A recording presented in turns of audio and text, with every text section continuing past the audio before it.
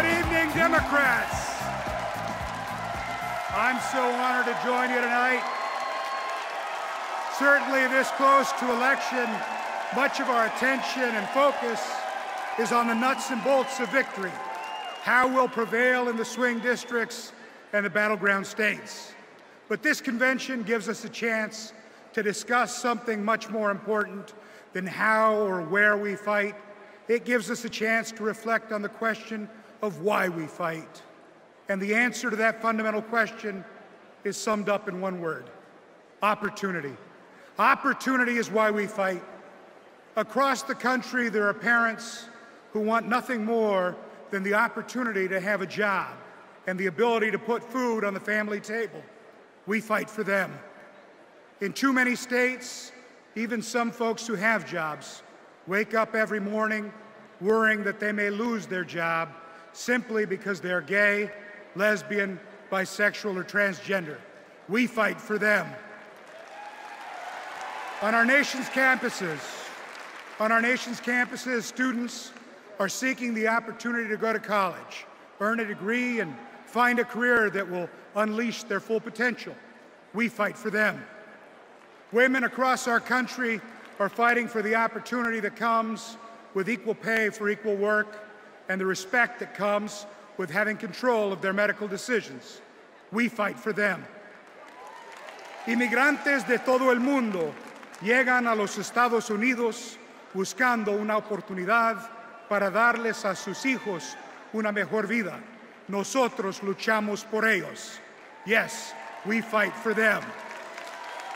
And we fight, we fight for President Obama, and we know he fights for us. President Obama has fought to renew the opportunity for Americans every moment of his time in office, to protect opportunities that already exist and create new opportunities for all Americans. When the jobs of auto workers were threatened in 2009, some said, let Detroit fail. But President Obama said that failure was not an option. And today, American auto workers can sleep securely knowing their jobs and the opportunities for a brighter future exist because President Obama fought for them. President Obama has reformed student loans, cut out the big banks, and lowered the cost of education for millions of students. And he's fighting for new investments to extend that opportunity for millions more. He helped repeal Don't Ask, Don't Tell, giving LGBT Americans the opportunity to openly and proudly serve our nation in uniform. And he's standing up for the right of those of us in the LGBT community to say, I do.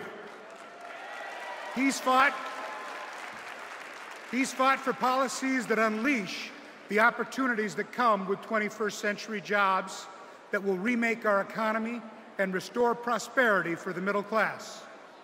President Obama is leading us through a challenging era by recognizing that the strength of America is measured in the opportunity everyone has to work hard and succeed. That's the spirit of our party and the guiding principle of our president. This election is our opportunity to rededicate ourselves to that commitment. Our pathway to victory is to fight for everyone to have the opportunity to live their American dream, to fight for our proud national tradition of ensuring that our children always enjoy more opportunities than their parents had.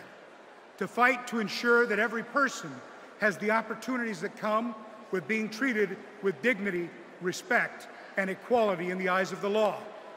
We fight to restore opportunity across this country because as Democrats, we understand the poignancy, the power, and the truth of Ralph Waldo Emerson's observation that America is another name for opportunity.